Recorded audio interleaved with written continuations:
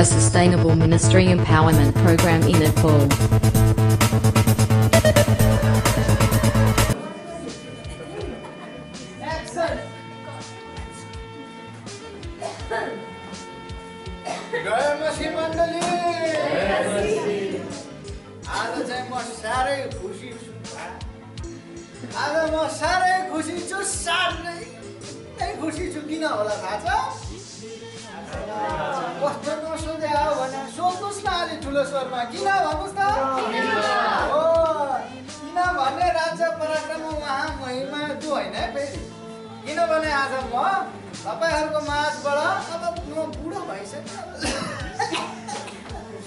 अनि अब बुढो भइसकेपछि अब मण्डलीमा चाहिँ अब अगुवा निर्माण गरेर अगुवा नियुक्त पनि गर्नु पर्यो तपाईँहरूकै माझमा एकदम सेवा गरिरहेको घरको सङ्गति दिदी बहिनी सङ्गति अनि साथी सङ्गति अनि छिमेकी सङ्गति सबै सङ्गति गरिरहनु भएको वचन प्रचार गरिरहनु भएको एकदमै राम्रो राम्रो कुरा गरिरहनु भएको।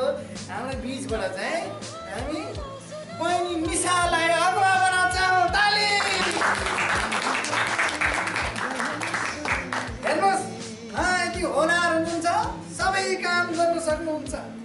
मण्डलीमा सबै काम गरिरहनु भएको छ। बुझ्नु भयो नि तपाईँहरूले ताली।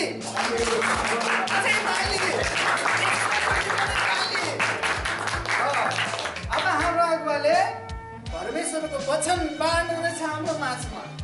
ल उहाँले वचन तयार गरेर ल्याउनुहुनेछ अनि वचन बाँड्नुहुनेछ।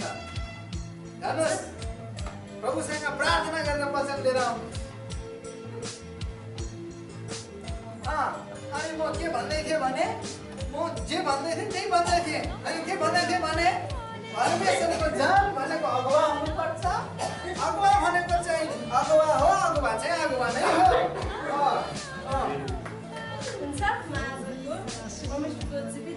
तपाईँहरूको माझमा ल्याएको छु के तपाईँ वचन सुन्न तयारी हुनुहुन्छ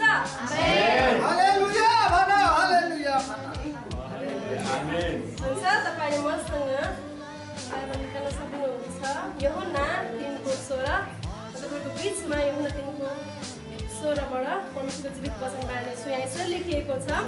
किनभने परमेश्वरले संसारलाई यस्तो प्रेम गर्नुभयो कि उहाँले आफ्ना एक मात्र पुत्रलाई दिनुभयो। ताकि उहाँमाथि विश्वास गर्ने कोही पनि नाश नहोस् तर त्यसले अनन्त जीवन पाओस्। आमेन। हुन्छ म आजको परमेश्वरको वचनलाई यतिकै राख्नेछु।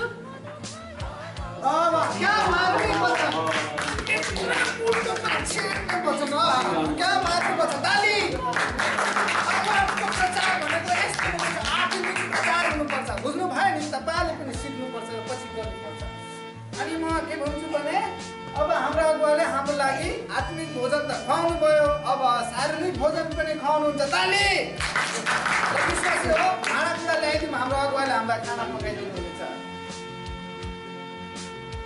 अनि म के भन्दै थिएँ भने अगुवा भइसकेपछि सबै कुरा जान्नुपर्छ। जसरी वचनमा नुन तेल तरकारी हाल्नु ए होइन। जसरी तरकारीमा नुन तेल हाल्न जान्नुपर्छ त्यसरी वचनमा पनि नुन तेल तरकारी मिसाउन जान्नुपर्छ। ठ्याक्क चट्ट पिरो वचन तयार गर्नुपर्ने हुन्छ। त्यसरी पेटको लागि पनि। ए राखेको हो। साबास ल हामीलाई उहाँले मिठो भोजन पकाएर खुवाउनुहुनेछ ताली। अनि म के भन्छु भने खाना पकाउनु सजिलो कुरो होइन खाना पकाउनु भनेको चाहिँ मेरो श्रीमतीलाई मात्रै थाहा छ तर म के भन्छु भने खाना पकाउनु चाहिँ यस्तै हो एकदमै गाह्रो कुरा हो वचन तयार गर्नु जस्तै गाह्रो कुरा हो पनि चाहिन्छ त्यही हुन्छ अन्त पानी भयो अब खानुभन्दा अगाडि चाहिँ के गर्नुपर्छ भने अगुवा भएपछि सबै कुरा गर्नुपर्छ हो कि होइन हो कि होइन अब विश्वासी हो उहाँले बत्तिसवटा टोइलेट र तेत्तिसवटा कोठा सफा गर्नुहुन्छ ल झाडुहरू लिएर आइदिनुहोस् त हाम्रो अगुवा भएपछि सबै कुरा गर्नुहुन्छ झाडुहरू ल्याइदिनुहोस् ल्याइदिनुहोस्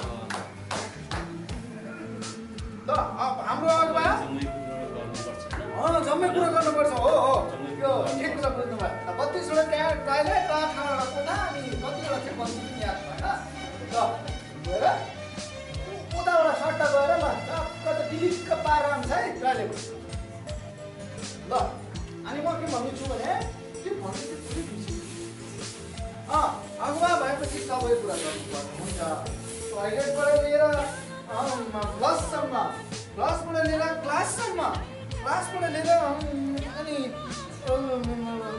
मिनरल वाटरको फ्लाससम्म सबै कुरा गर्न चाहिँ जान्नुपर्ने हुँदछ त्यही कारणले तपाईँहरू पनि तपाईँहरूको विचार गर्दै गर्नु आएको पानी चाहिँ तपाईँहरू पनि तपाईँहरू पनि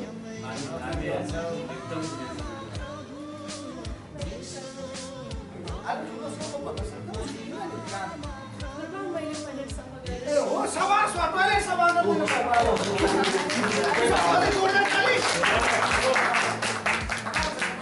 यस्तो हुनुपर्छ अगुवा। ल यसैमा हामीलाई सुमधुर आराधना गर्नुहुनेछ कि? यहाँ आउनु न हाम्रो अगुवाले आराधना पनि गर्नुहुनेछ ल हामी सबैजना एकछिन आराधना गरौँ प्रभुलाई भोक थकै पनि लाग्छ हामीलाई आराधना।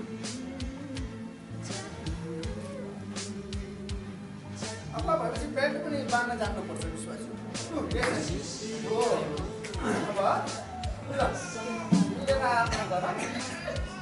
गिटार पनि ठोकै राम्रो भएछ ठिकै छ ल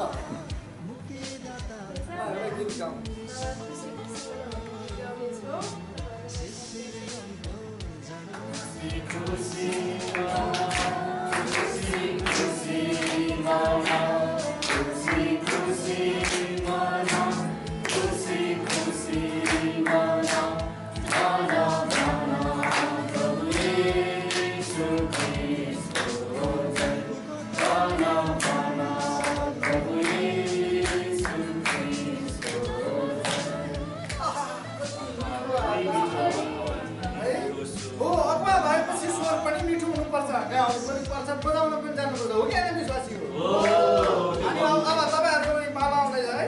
अब हाम्रो अगुवाले चाहिँ अब मिठो नाच मिठो नाच हुन्छ। होइन एकदमै एकदम राम्रो आराधनामय नाच पनि नाच्छ ल गीत गाउनु त विश्वासी हाम्रो अगुवाले नाचेर पनि देखाउनुहुन्छ ल कुन चाहिँ गीत गाउँ? हामी ईश्वरको साथमा हिँड्छौँ हामी सुनाउन सहरमा जान्छौँ बस। भयो पुग्यो। वचन पनि मै बाँड्ने अनि खाना पनि मै पकाउने गीत पनि मै गाउने टोइलेट पनि सफा गर्ने सबै काम मै गर्ने। म त परमेश्वरको सेवा गर्न आएको थोरै तपाईँहरूको सेवा गर्न आएको? म बन्दिनँ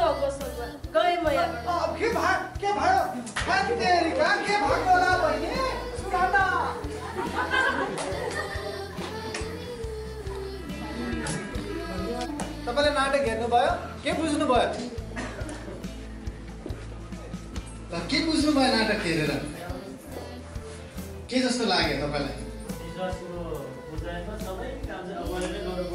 ओ पास्टरलाई थाहा छ मर्का।